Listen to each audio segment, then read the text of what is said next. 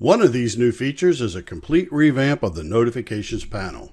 With the version 4.0 release, the user has even more flexibility in how live event messages appear, as well as the ability to query the video archives directly from the notifications panel. This new panel is divided into four tabs. Let's take a look. The first tab on the left is the Notifications tab.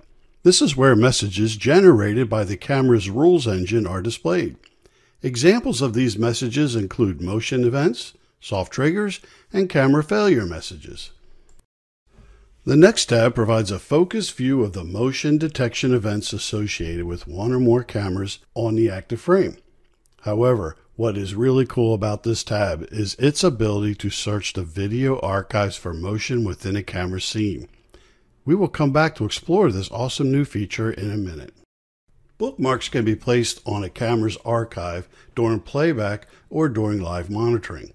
The Bookmarks tab displays the bookmarks saved for one or more cameras within the active frame. The last tab displays all live and past events generated by the system. The events can be filtered or searched by type, time frame, or camera. So let's go back and explore some of these awesome new features. So I mentioned the Motion tab has a new feature that allows the user to search the video archive for motion within a camera scene.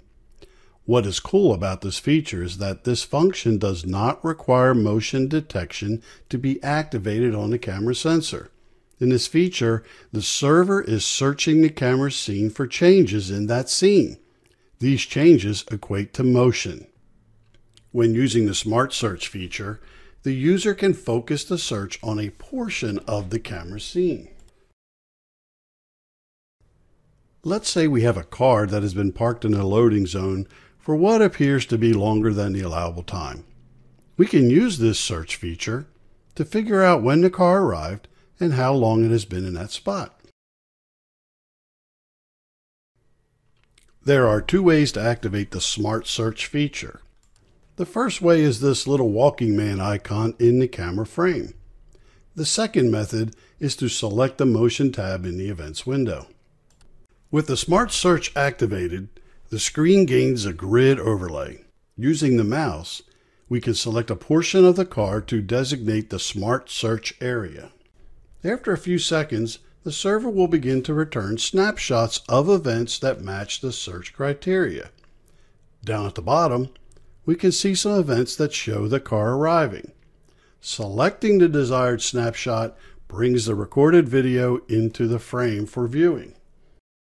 The timestamp on the video archive shows the driver arrived around 9:50 this morning and it's now 12:50, which means he has exceeded the 15-minute limit by a few hours. By adding the Motion tab with Smart Search to the operator window, incidents can be quickly investigated with just a few clicks of the mouse.